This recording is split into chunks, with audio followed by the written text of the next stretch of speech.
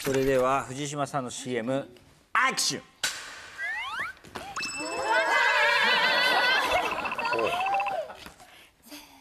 カニカニ。海海。この味知ってる？私知ってる？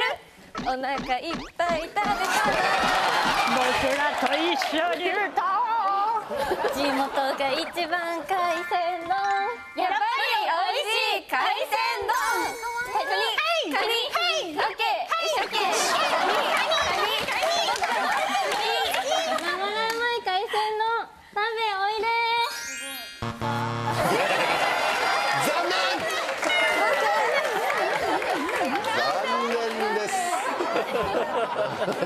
いやでもご機嫌でしたね川田の入りから。ねえまさか川田君からだと思わなかったね。